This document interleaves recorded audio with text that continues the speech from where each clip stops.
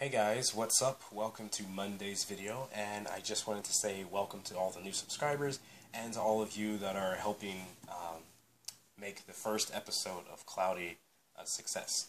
So, I, I know we still have a good ways to go before we get a thousand views on it, but I think currently we're at a hundred and something, and I just put it up a few days ago. So, that's success in, in my book.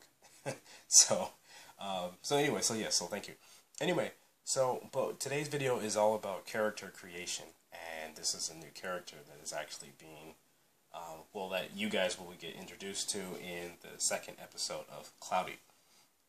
So, I just thought it'd be kind of cool to show you guys the kind of step or kind of behind the scenes process of how I go about creating some characters. So, for instance, um, this right here is Lady Magnificent. yes, uh, she has a very interesting name. But anyway, regardless, um, that's her name, and she's going to be in the second episode.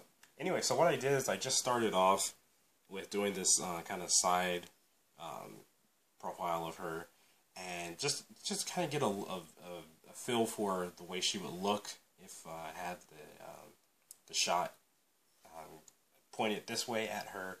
Um, you know, and then also too the expression that I put on her face too. She looks kind of um, kind of tense or whatever. But okay, so anyway, so this is one this is one look right here. But the, the important thing that some that you guys might want to try if you're doing character creation is not just settle for just one drawing and say, oh well, here's my character.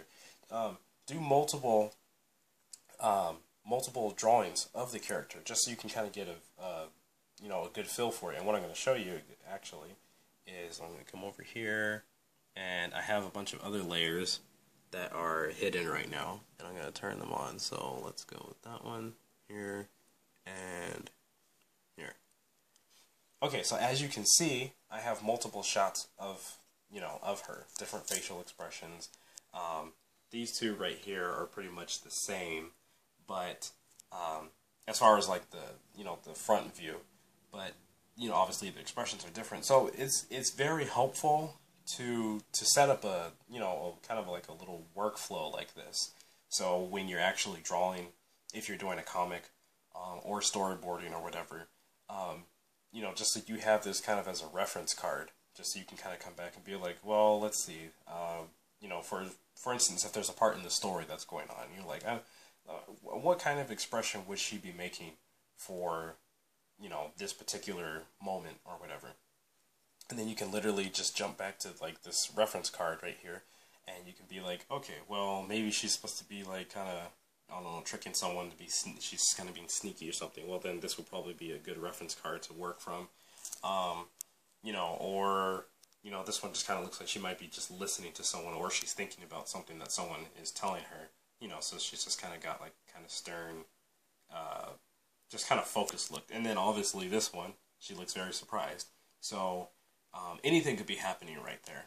So, and, and, the other thing that's really cool is each one of these um, heads, um, they're all on a different layer. So actually, I'll be able to take one of these um, heads, and later on when I'm drawing more in the comics, then I can actually add on. I can just draw like the rest of her body, and um, and then, therefore that saves me a ton of time on um, actually recreating the entire character. So, for instance, like this was the same drawing right here um, well, I started with this drawing, and then I just duplicated that layer, and then I copied it here, and I just changed the face, the facial expression.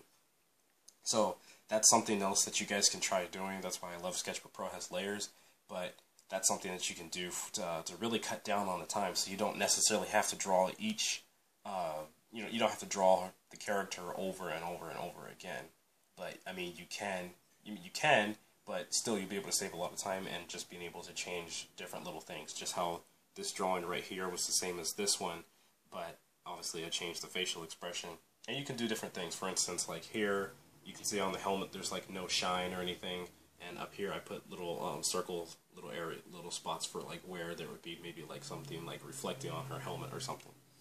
Anyway, so that is just a quick little introduction to character creation. Um, I plan on going over this more as far as like with like um, body parts, um, like hands and things like that, just to kind of show maybe will um, this right here, like this face, what kind of um, hand expressions would go good with that face. So little things like that. anyway, though, but I hope that you guys have an awesome Monday. Hope you guys have a had an awesome weekend. And uh, I I got snow at my house this weekend. so anyway, that was kind of cool. Anyway, so I'll see you guys in the next video, and don't forget to look out for Cloudy Part Two. It should be out fairly soon. Um, I am kind of really excited to show you guys where the story's going to go from the last episode that we left off on. But um, anyway, let me know what you guys think of this artwork. And uh, yeah, I guess I'll talk to you in the next video. All right, take care. Bye.